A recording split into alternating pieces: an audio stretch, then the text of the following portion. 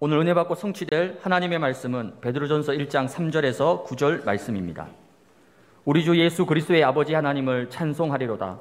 그의 많으신 긍휼대로 예수 그리스도를 죽은 자 가운데서 부활하게 하심으로 말미암아 우리를 거듭나게 하사 산 소망이 있게 하시며 썩지 않고 더럽지 않고 새하지 아니하는 유업을 있게 하시나니 곧 너희를 위하여 하늘에 간직하신 것이라 너희는 말세에 나타내기로 예비하신 구원을 얻기 위하여 믿음으로 말미암아 하나님의 능력으로 보호하심을 받았느니라.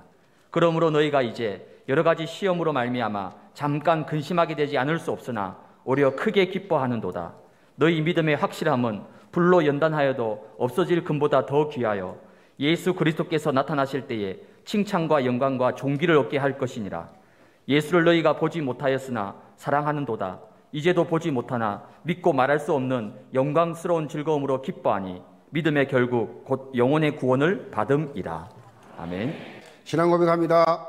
주는 그리스도시요 살아계신 하나님의 아들이십니다. 아멘. 우리 해외 성도를 같이 서로 다 인사합시다. 예수님의 부활은 우리에게 영생을 주었습니다. 이거 되는 말씀 가지고 부활 생명을 누리는 산 소망의 삶이란 제목으로 말씀을 드립니다. 오늘은 예수 그리스도의 부활을 기념하는 부활주일입니다. 여러분들은 부활절 하면 무슨 단어가 가장 먼저 떠오릅니까? 어, 먼저는 부활하신 예수 그리스도가 제일 많이 떠오르겠는데 이제 그 외에 다른 단어를 한번 여러분이 생각해 보신다고 하면 무슨 단어가 떠오르겠어요? 자, 오늘 말씀, 오늘 본 말씀 제목에 답이 있습니다. 저는 부활절 하면 소망이 떠오릅니다. 소망. 소망. 단어가 제일 이 단어가 떠오르는 이유가 부활절은 무엇보다도 우리에게, 여러분 개개인에게 산 소망을 주는 메시지가 담겨져 있기 때문입니다. 기독교 절기에, 절기에는 부활절, 부활절과 성탄절, 이 양대 축이 있습니다. 구속사 성취를 위해서 하나님의 아들인 이 예수님이 육신의 옷을 입고 반드시 와야 돼요. 구원 사역을 위해서 오셔야 됩니다. 그것이 예언된 거예요. 장세 3장 15절에 여사의 후손으로 오실 것이 첫 번째로 예언된 이래 많은 선지자들이 끊임없이 오신다 오신다 예언하셨는데 이 예언을 거쳐 가지고 요한 신약 마태복음 1장 24절로 25절에 드디어 그 예언된 말씀이 성취되었습니다. 요셉이 잠에서 깨어 일어나 주의 사자의 분부대로 행하여 그의 아내를 데려왔으나 아들을 낳기까지 동침하지 아니하더니 나음에 이름을 예수라 하니라. 이런 예수님의 탄생을 기념하는 절기가 성탄절입니다. 그리고 아무 죄가 없으신 예수님이 인간의 모든 인류의 그 지은 죄들을 다 몽땅 대신 지시고 대속의 피를 흘렸습니다. 그런데 여기에서 끝나면 기독교는 다른 종교와 별 차이가 없어요. 너희들의 죄를 위해 내가 죽는다, 죽었고, 죽, 죽고 끝났다 하면 다른 종교와 차이가 없다니까요. 근데 기독교는 세상 종교 왜 그렇게 다른 유일성을 가지고 있느냐? 그것이 바로 인간의 모든 죄를 완벽하게 해결하셨다라고 하는 이 증거로 예수 그리스도가 부활하셨습니다. 부활, 부활하셨다. 이거는 어떤 종교도 없는 거예요. 인류 역사의 처음이고 마지막입니다. 마태복음 28장 5절 6절에 오면 천사가 예수님의 무덤을 찾아왔던 막달라 마리아와 다른 마리아를 향해서 이렇게 말합니다. 천사가 여자들에게 말하여 이르되 너희는 무서워하지 말라 십자가에 못 박히신 예수를 너희가 찾는 줄 내가 아노라. 그가 여기 계시지 않고 그가 말씀하시던 대로 살아나셨느니라 와서 그가 누웠던 곳을 보라. 예수 그리스도의 부활이야말로 영원한 산 소망이 되는 축복의 메시지다. 그래서 한 신학자는 부활절에 대해서 어, 이런 말을 했습니다. 부활의 메시지는 짧을수록 좋다. 왜냐하면 부활은 역사적 사실이기 때문이다.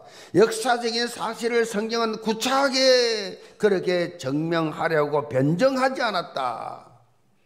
단순하게 선포했고 믿고 살라고 선언했을 뿐이다. 그랬어요. 참으로 심플 하면서도 정확 명료한 그러한 고백이지요. 그런데 역사적으로 보면 이런 부활의 이 산 소망을 가지고 살지 못하도록 사단은 계속해서 어떻게 하든지 예수 그리스도의 부활을 희석시키기 위해서 이 부활을 가지고 논쟁거리로 삼도록 만들었어.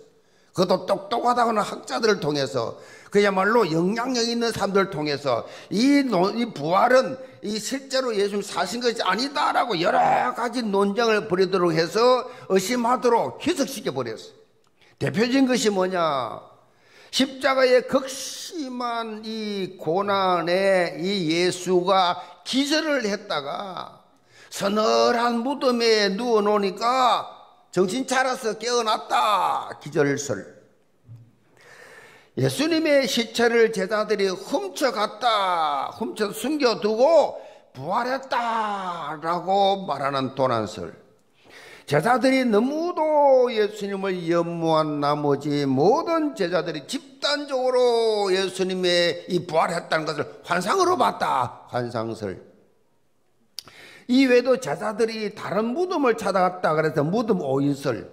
예수님의 이 시신이 무덤에 안치된 적 없다는 매장 부인설 등등 이런 설들을 오히려 실제적으로 다 조사를 조사 조사를 한 결과 부활의 사실성을 증명하는 결과가 오고 말았다라는 거예요. 우리는 속지 말아야 합니다.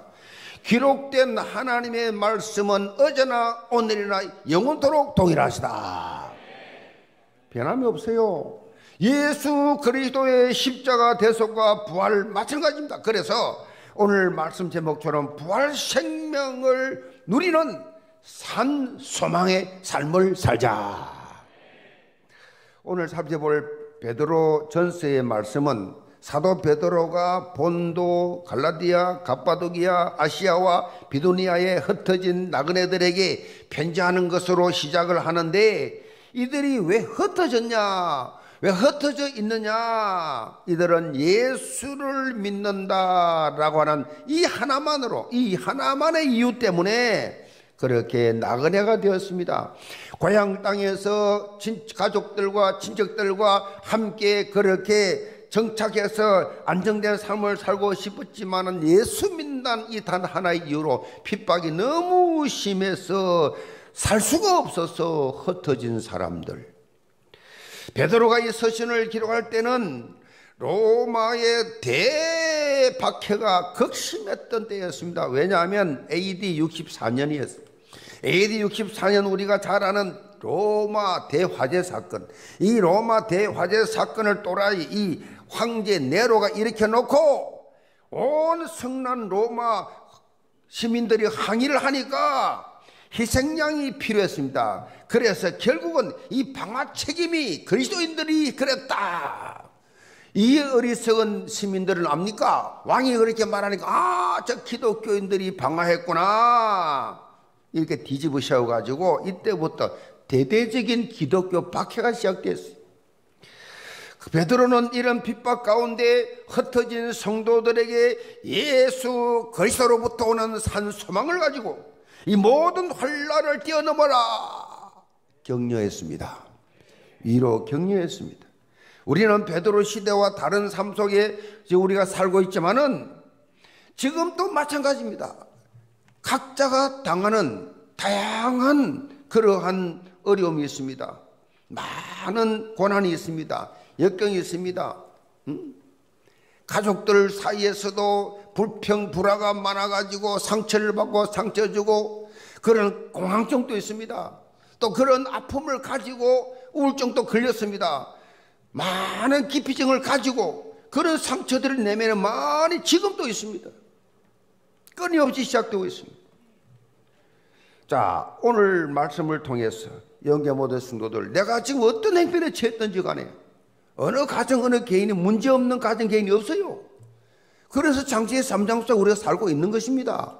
이 현장 속에서 정말 이 복음의 비밀을 가지고 그리스도의 대사로서 사는 이유가 여기에 있다는 거예요.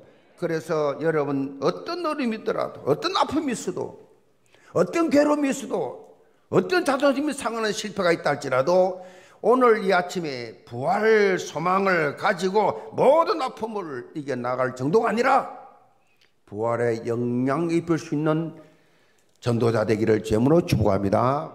그럼 첫째로 산 소망의 근거입니다. 3절 봅니다. 우리 주 예수 그리스도의 아버지 하나님을 찬송하려다. 그의 많으신 긍휼대로 예수 그리스도를 죽은 자 가운데서 부활하게 하심으로 말미암아 우리를 거듭나게 하사 산 소망이 있게 하시며 썩지 않고 더럽지 않고 샤지 아니하는 유업을 있게 하시 하시나니 곧 너희를 위하여 하늘에 간직하신 것이라. 베드로는 우리가 산 소망을 가지고 살아갈 수 있는 핵심 근거를 여기서 밝히고 있어요.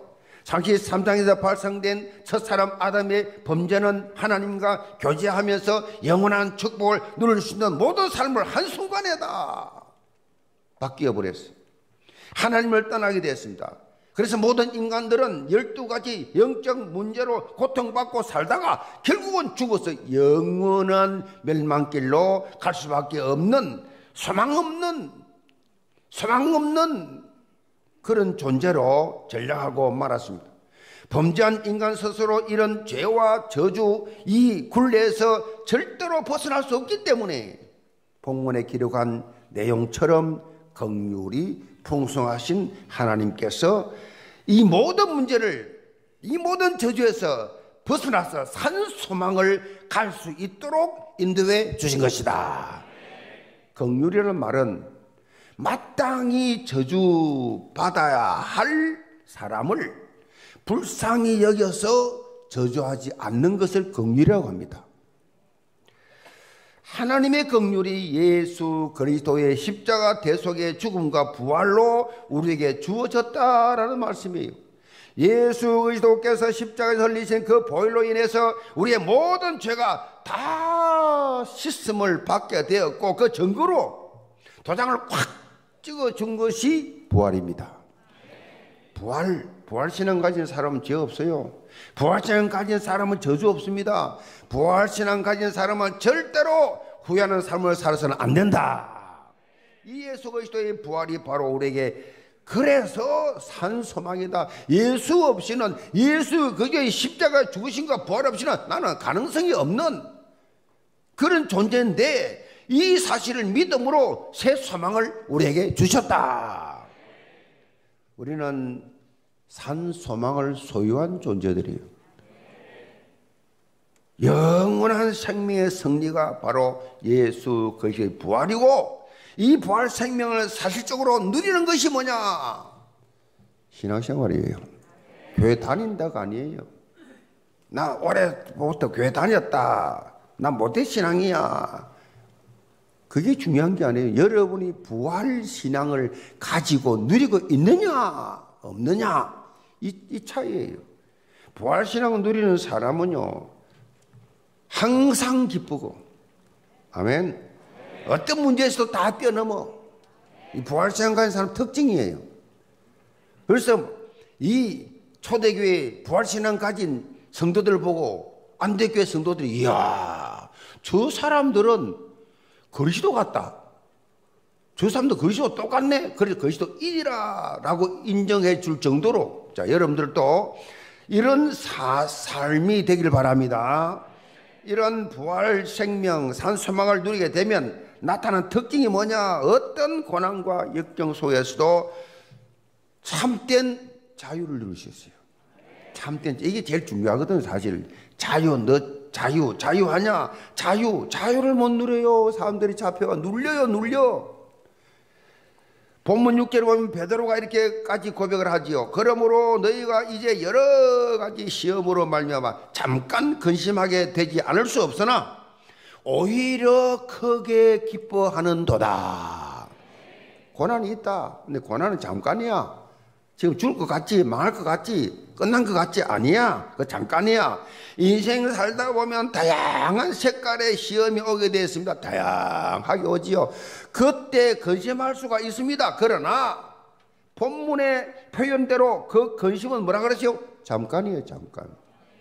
근심은 잠깐입니다. 예.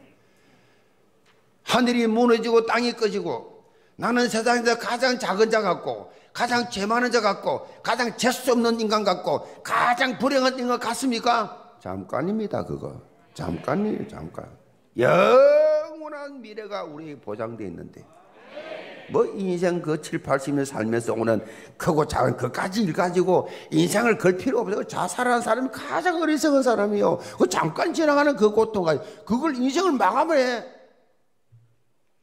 전능하신 하나님이 살아계시고 예수님이 내 모든 문제 문제 해결했던 답이 있는 사람이 늘 염려 걱정 속에 사로잡혀 살아? 안 믿는 거예요. 아는 걸 알아. 파도 들어가지고 안 믿어 사실은. 이 땅에 무슨 말입니까? 서론적인 것, 눈에 서론이 뭐예요? 눈에 보이는 것 없을 것. 이 서론적인 것에 매여 살지 마시기를 바랍니다.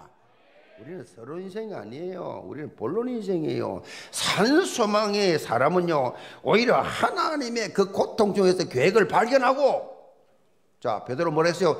도리어 크게 기뻐하는도다. 그랬어요.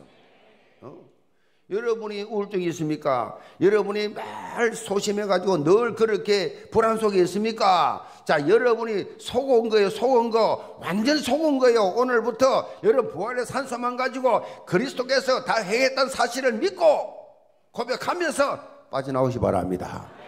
그냥 누리면 저절로 빠져나오시게 돼 있어요. 영국의 한 목공소에 일하던 에드워드 모트라고 하는 청년이 전도를 받고 예수님을 영접하고 이제 하나님의 자녀가 되었습니다. 이야, 예수 믿으면 영원한 소망이 있구나. 그래서 인생에 소망이 생기니까 뭐가 생기냐? 전에는 뭐 직장 생활하면서 뭐 일하는 것이 너무 지루하고 힘들고 어려웠는데 열정이 회복돼. 열, 열정이 회복돼 가지고 자기에게 주어진 일에 대해서 전심 전력을 다했어요. 어? 뭐 목표가 있으니까 이제 왜 일해야 되는지 왜 성공해야 되는지 목표가 정해졌으니까 예수 영접한 이후에 그 인생이 열정이 확 돌아와 가지고 10년 동안 열정을 다 일했는데 가구 제조업의 사장이 됐어요. 돈과 명예도 가지게 됐습니다. 그러는 어느 날 그가 자기 공장 뒤편에 있는 언덕에 올라가 산책을 탁 하고 있는데 보니까 넓적한 큰 바위가 있어요. 그래서 그 바위에 딱 걸터 앉아가지고 아름다운 마을의 이 전경을 이렇게 어, 보고 있는데 어느 날 그 순간 갑자기 가슴 속에 밀려오는 행복감을 느끼게 됐어. 내가 왜 행복하냐? 행복감을 느끼게 됐는데 마치 자신이 지금 걸터 앉아 있는 이 널찍한 이 바위와 같은 존재가 자기를 다 감싸주고 받쳐주고 있다라고 하는 느낌을 확 가지게 됐어요. 이 행복의 근거가 돈이 아니고 명예가 아니고 부활하셔서 지금 살아계셔서 자기와 함께 계시는 주님이란 사실을 예수님이란 사실을 깊이 깨닫게 되었어요. 그래서 종이를 다 끄집어내서 시를 썼습니다. 그 시가 찬송가 488장입니다.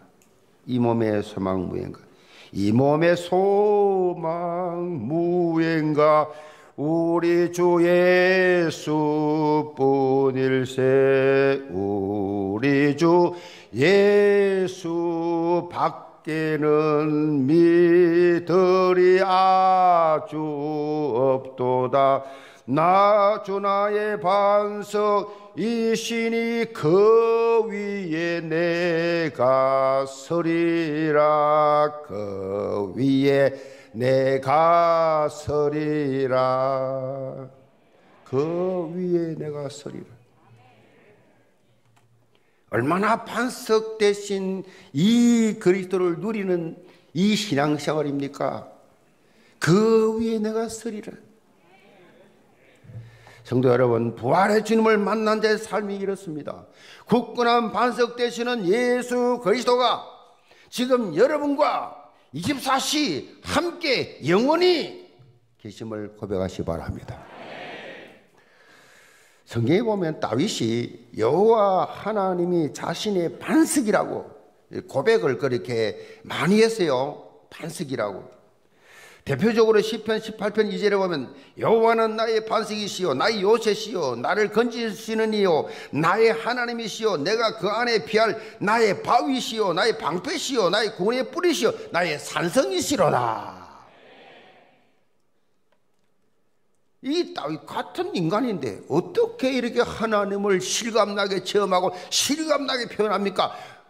우리도 이렇게 살아계신 하나님의 성경책 속에만 있는 것이 아니라 내, 내 노트 속에 있는 것이 아니라 내 삶 속에 나와 함께 계심을 고백해 보시기 바랍니다. 주님은 나의 바위시오, 나의 반석이시오, 나의 피할 바위시오. 아멘. 다윗이 왕이 되기 전에 말로 형용할 수 없는 광야의 훈련, 그야말로 생명의 위협을 느끼면서 고통을 당하는 그런 위기, 위기, 위기 때마다 자기가 믿는 하나님이 그날 순간순간마다 구원해 주신 것을 체험하고 한 고백이에요.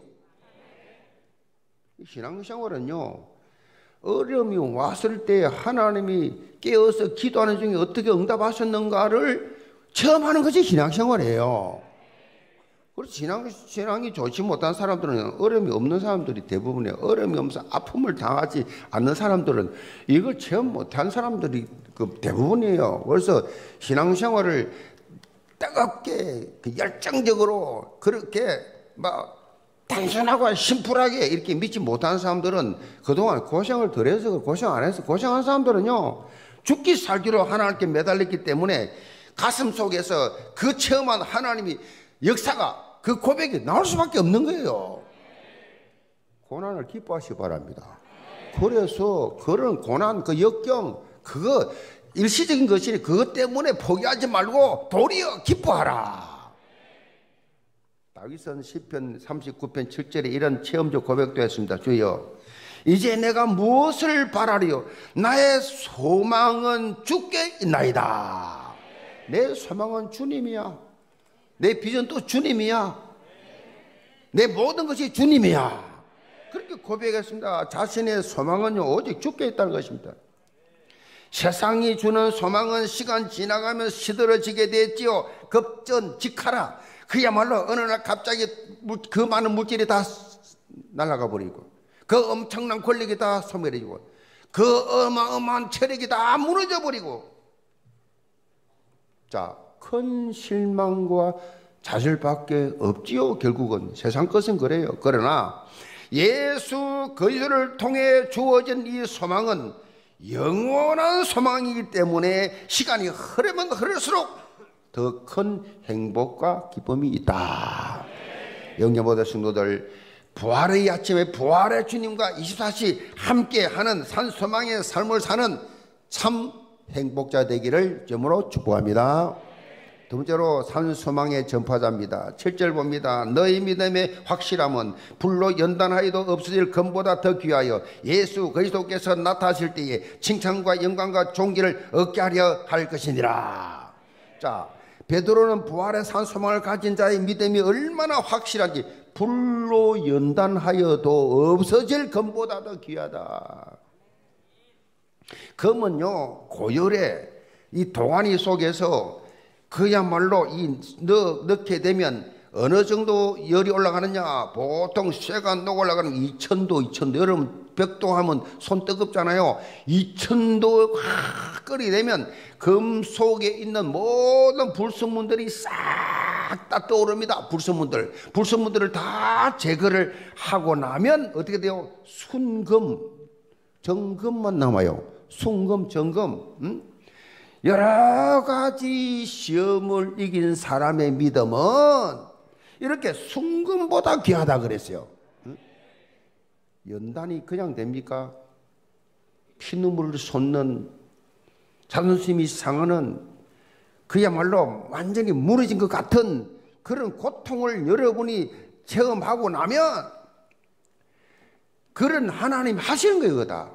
여러분 설려고 아멘. 서시려고 서시려고 다 하나님이 계획 속에 하나님이 주무십니까 돌아가셨습니까? 그렇게 힘들고 어려울 때 그거를 왜 주냐? 하나님의 살아계 체험하라고. 그 연단을 기쁨으로 받으시 바랍니다. 그래서 이 신앙 가진 사람은요 시련이 오고 연단이 와도요 부활신앙 가진 사람은 넘어지지 않습니다. 갈등하지 않습니다. 오히려요, 이 내 속에 있는 불신앙이 싹 빠지는 계기가 되기 때문에 그 연단을 통해서 싹 다 불신앙에 빠지고 나니까 영적 성장이 확 일어나는 것입니다. 영적 성장이 일어나요. 예수 그리스도께서 다시 나타났을 때에 칭찬과 영광과 존귀를 얻게 할 정도로 그 정도로 믿음의 수준이 확 높아져야 돼요. 아멘. 그렇죠. 지금 여러 연단 받는 거, 특별히 청년들 연단 받는 거, 어? 여러분 다 여러분 훈련으로 다 이겨 나가시 바랍니다. 어? 청년들이 훈련 받는데 이번에 2주짜리 훈련을 받는데, 어? 훈련 받는 N, 뭡니까? SS를 그 훈리라고 훈련을 받는데, 뭐, 그, 뭐, 저 300명, 이게 그 모집을 하는데 새벽 6시에 신청하라 그랬는데 4분 만에 끝났다네, 4분 만에. 4분 만에 끝났다. 나 그 보고 받고 충격 받았어요. 아니, 어느 지구상의 교회가 그것도 회비를 10만 원 내락하면서 그것도 새벽 6시에 신청해서 300명까지만 모집하는데 300명 4분 만에 끝났다. 4분 만에 못 들어와 가지고 그렇게 못 들어와 가지고 홀로 못 빠게 된 아들이 우니까 엄마가 전화 와서 우리 아들 좀 넣어 달라고. 이런 교회를 본 적이 없어요. 들어본 적도 없고 저는 본 적이 없어요. 무슨 훈련 다 도망갑니다. 무슨 근데 그렇게 훈련을 받아. 그 뭐 훈련을 왜 받습니까? 완전히 복음 체질 만들려고. 완전히 그리스도 체질 만들려고. 완전히 현장 전도 제자 만들려고. 완전히 그리스도 사람 되게 하려고. 쟁이 돼야 돼요. 쟁이. 예수 쟁이 돼야 돼요. 쟁이는 전문성이 있거든요. 쟁이. 쟁이 소리는 아무나 듣는 게 아니에요. 그러니까 이 그 분야에 그냥 최고 쟁이 여러분 예수 쟁이 되기 바랍니다. 그렇게 여러분이요 이 훈련 이 높은 수준의 훈련을 하나님께서 받게 하신단 말이에요. 베드로는 자 여기에 대해서 더 나아가서 부활 신앙 가진 자의 모습을 좀 구체적으로 말하고 있습니다. 8절입니다. 예수를 너희가 보지 못하였으나 사랑하는도다. 이제도 보지 못하였으나 믿고 말할 수 없는 영광스러운 즐거움으로 기뻐하니 믿음의 결국 곧 영혼의 구원을 받음이라. 부활신앙을 소유하는 사람은요, 부활의 산 소망 대신 예수 그리스도를 사랑하며 즐거워하고, 사랑하면서 즐거워하고, 기뻐하고, 장차 영광스러운 완성될 구원의 축복을 누리는 자다. 그런데 이 말 속에는요, 부활의 산 소망을 우리만 누릴 것이 아니라 아직도 소망을 상실한 채 사랑하는 저 그리스도 밖의 영혼들, 저 불신 영혼들에게 전해주어야 한다는 의미가 이게 담겨져 있습니다. 베드로전서 3장 15절에 보면 이 사실을 잘 기록하고 있습니다. 너희 마음에 그리스도를 주로 삼아 거룩하게 하고 너희 속에 있는 소망에 관한 이유를 묻는 자에게는 대답할 것을 항상 준비하되 온유와 두려움으로 하고 여러분이 정말로 이 산 소망을 가지고 살아갈 때 왜 그래 당신은 그렇게 즐거움이 많냐 그렇게 기쁘냐 그렇게 늘 희망적이고 긍정적이고 그렇게 볼 때 부럽냐 산 소망의 이유를 묻는 자에게 네, 질문하지요 다르지요 어? 같은 직장 다니지만은 다르지요. 다르니까 물어보지요. 어? 맨날 부정적인 말하고 사장 욕하고 부장 욕하고 불평원망하고 어, 집에서 싸운 이야기 와 부정적인 말하는데 전혀 그런 거 없거든. 늘 복음적인 늘, 늘 생명 있는 말하니까 어떻게 그러냐? 어떻게 나도 당신처럼 될 수 있냐? 소망에 관한 질문을 할 때에 늘 준비하고 준비해라. 그 준비하고 있어라. 항상 대답할 말을 준비하고 있어라. 예, 여러분이 예수 그리스도를 통해 주어진 부활의 산 소망을 가지고 누리고 살면 부활의 산 소망을 누리고 사는 삶은 어떻게 해요? 산 소망의 전파자가 된다. 이 사실을 전파하게 돼요. 삶의 현장에서. 이것이 어렵냐? 안 어렵습니다. 산 소망의 삶을 사는 게 신앙생활이 하나도 어렵지 않습니다. 뭐가 어렵습니까? 어렵지 않습니다. 어떻게 하면 어렵지 않느냐? 뭐가 안 돼서 어렵냐? 삶 오늘의 삶입니다. 삶 오늘의 삶이 안 되니까 다시 말하면 오늘의 말씀, 오늘의 기도, 오늘의 전도 저는요 사람과 대화하기 전에 하나님께 일어나자마자 첫 소리입니다. 대화입니다. 사람과 대화하기 전에 하나님 앞에 아버지 하나님으로 시작합니다. 하루가. 그리고 뭐 세상 뉴스, 세상 무슨 이거 듣기 전에 먼저 오늘의 말씀 봅니다. 무조건. 핸드폰에 바로 떠요. 핸드폰에 바로. 오늘 말씀. 엘리베이터 타면서 봅니다. 오늘 말씀. 집 나와서 타면서 오늘의 말씀. 여러분, 이 사모들이, 사모들 청년 때 제가요, 이, 이거 사모들을 다, 이게 저 모태 신앙이잖아요. 없어져요, 이런 거. 사모들이 뭐예요? 그냥 교회만 다녔죠. 어, 교사도 하고, 성가대도 하고, 안 해본 게 없어요. 다 해봤지만, 아니요. 내게 그런 이 하나님의 이 능력, 성의 역사, 뭐 부활의 소망 없었어요. 그냥 뭐 부활절이겠지, 성탄절이겠지, 뭐 그렇겠지. 그렇게 다녔다니까. 근데 이 산모들이 고통 속에서 시작이 되면서 되어지니까 하나님이 평생을 보장해 버려요. 제가 처음 하고 이게 썼지. 설교를 한 설교 아니에요, 지금.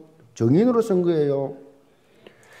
여러분들이요, 전도자, 한마디로 전도자의 삶을 살면 끝나는 것입니다. 직접 하든 간접 하든 여러분에게 복음 영향을 입히는 삶을 살면 끝나는 겁니다. 아주 고차원적인 수준이 아니에요. 이거는요, 기본은 기본. 아니, 예수 믿는 사람의 기본이에요. 전도의 삶이라는 것이. 그냥 뭐 여러분 온 전신의 불신자잖아요. 직장에서 하루 종일 불신자 주위에 다, 다 종교인들 불신자. 그거 뭐, 뭐, 그, 그, 그, 그들이 영향 미치는 게 뭐 특별합니까? 그냥 기본이 기본. 말씀으로 각인되고, 기도로 뿌리 내리고, 아멘? 정인의 체질이 되면, 하나님이 막 불꽃 같은 동자로 암탈개 날개를 병아리 푼다. 천사들이 동원돼 가지고 그냥 지켜주신다고. 겁날 거 하나도 없어요. 사자굴 속에서도 빼내는데 풀불 속에서도 빼내는데 하나님 뭘 못하시겠어요? 여러분 이 말씀이 각인되고 기도가 이제는 뿌리 탁 내려 체질이 봄 체질이 딱 돼버리면 어떻게 되느냐 성장의 축복이 증거가 계속 나오니까 정인된 삶으로 살 수밖에 없다니까. 그래서 제가 처음 한이 사모늘, 사모직, 아멘. 이, 이 두 가지가 여러분 확실하게 뿌리 내리지면 예수 믿는 만큼 행복한 거 없다. 마가복음 3장 13절로 15절에 보면 예수님께서 제자들을 부르시고 부르셨습니다. 직접 불렀습니다. 훈련시키시고 훈련 이게 원리예요, 원리. 자기와 함께 있게 하시고 또 보내서 그다음 뭐요? 전도도 하며 예수님께서는 제자들과 함께 있으면서 본을 보여주었습니다. 말씀으로 사역하신 것을 제자들에 보여주시고 하나님의 말씀으로 놀라운 이적과 기사를 행하시고 천국 복음을 전파하셨습니다. 이것이 오늘의 말씀이에요. 오늘의 말씀. 그리고 습관을 따라서 기도하는 모습을 제자들에게 보여주었어요. 오늘의 기도. 그래서 여러분 청년들이 좋잖아요. 우리 대학생들도 그렇고 전부 다 뭐요? 그룹 있잖아요. 순이 있잖아요. 그러면 서로 서로 아침인데가요. 아침 오늘의 말씀 띄우고 사모들 막 서로 서로 띄우는 거 서로 서로. 그럼 이거 뭐 띄우니까 나 안 해도 다 봐. 안 해도. 얼마나 좋아.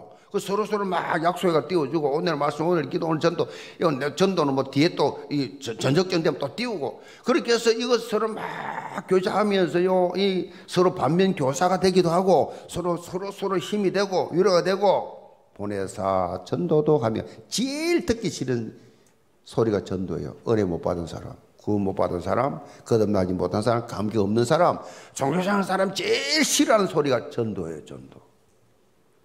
영교회는 맨날 전도하래. 구원 못 받았든지 시간평 아니든지 전도도 하면 예수님이 그 훈련시가 전도식입니다. 전도, 전도도 저절로 되어집니다. 전도하는 게 아니에요. 따라 전도는 되어지는 것이다. 어떻게 되어집니까? 내 삶을 통해서 그냥 누가, 말을 걸게 되고 만나게 되고 자연스럽게 하게 돼 있어요. 자, 오늘의 이 말씀과 오늘의 기도를 통해서 개인화의 응답을 누리면서 오늘의 전도를 통해서 현장화의 응답을 체험하게 되어진다. 영계 모든 성도들 자신의 환경과 행편 다 떼어놓. 왜 사모를 사모지 하라느냐? 이 모든 문제 사건 골치 아프잖아요. 이런 것들을 그냥 피하는 게 아니라 정면 도전하면서 산 소망의 이 복음을 누리게 되면 전부 다 이기게 하신다. 그래서 산 소망의 전파자 70의 제자들 다 되시기를 점으로 축복합니다. 결론입니다. 유명한 영성신학자 유진 피터슨이라는 분은 성탄절과 이 부활절을 비교하면서 이렇게 진단했어요. 성탄절은 그나마 살아있으나 부활절은 이미 흥미를 일으키는 부분조차도 실패하고 말았다. 부활절은 완전히 죽어버렸다. 그랬어요. 유진 피터슨 목사님 이렇게까지 극단적으로 말하는 이유가 어디 있느냐? 오늘 수많은 크리스찬들이 입으로는 예수 부활을 믿는다고 말을 하는데 실상 삶 속에 부활 신앙이 살아 역사하지 않는다는 거예요. 전혀 체험하지 못하는 거예요. 부활 신앙이 생활화되어 있지 못하다는 것입니다. 부활을 막연히 죽음의 이후에 막뭐 죽고 나면 뭐 예수님 부활해 나 부활하겠지 그렇게 생각할 뿐이지 현재 지금 now 여기에 내 삶 속에서 부활을 경험하지 못하고 있다는 말씀이에요. 영계 모든 성도들 이렇게 되면요 어떻게 되느냐 부활을 삶 속에 경험하지 못하는 사람들 특징이 힘이 없어요. 속된 말로 메가리가 없다고. 어? 힘이 없으니 영향력 입힙니까?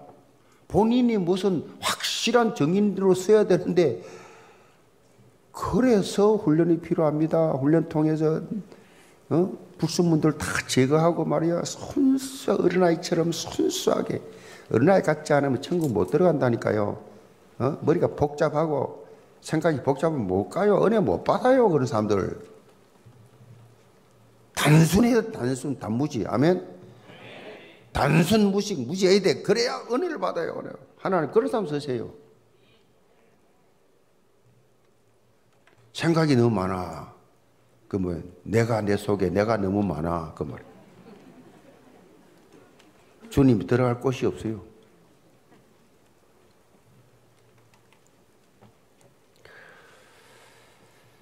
힘이 없어. 영적 영향력을 입을 수가 없는 무력한 삶을 살게 돼요.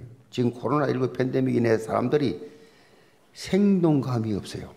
어? 생동감. 이 거리가 멀지요. 나타나는 현상을 초월한 것이 아니라 환경에 잡혀버렸어. 그게 파묻혀 버렸어.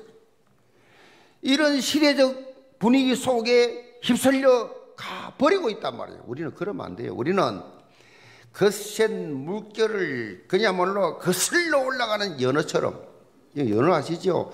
연어 막 자기가 태어난 곳으로 가기 위해서 가는데 막 물이 막 그냥 쏟아지잖아. 막, 막 그냥 어? 쏟아지는데 그걸 치고 올라갑니다. 치고 올라가. 이게 생동감 있는 신앙생활이에요. 그 어떤 반대도 그 어떤 방해도 상관없어. 부활 생명을 가진 역동적인 삶, 생명력 넘치는 삶을 살아야 됩니다. 우리가 주일에 예배를 드리는 바탕에는 예수 그리스도의 부활이 있습니다. 매주 예수님의 부활을 기념하기 위해서 예배하는 것이 주일날이에요. 그래서 오늘만 부활절이 아니고 여러분이 교회 나와 주님 앞에 예배하는 그 주일은 부활을 내가 고백합니다. 부활신앙 가지고 누리고 있습니다. 부활신앙을 믿습니다. 하는 고백이에요. 그 매주일이 부활줄 되게 바랍니다. 이런 영적 의식을 가지고 부활의 산 소망이 부활의 생명력이 실제로 여러분 속에서 역사하고 누리면서 이제는 뭐요? 이 사실을 전파하는 부활의 증인들 다 되시기를 점으로 축복합니다. 기도합시다. 아버지 하나님 영계 모든 성도들을 특별히 이 자리에 참석한 우리 대학생들 청년들 부활 생명을 누리는 산소망의 삶을 살게 하여 주옵소서. 이 산소망의 비밀을 알지 못해서 문제 사건 오면 넘어지고 쓰러지고 포기하고 인생을 포기하며 엄청난 질병으로 고통당하는 이때에 이 영적 비밀을 말하면서 저들을 살려낼 수 있는 전도자의 삶을 살게 하여 주옵소서. 예, 소선 받들어 기도합나이다. 아멘.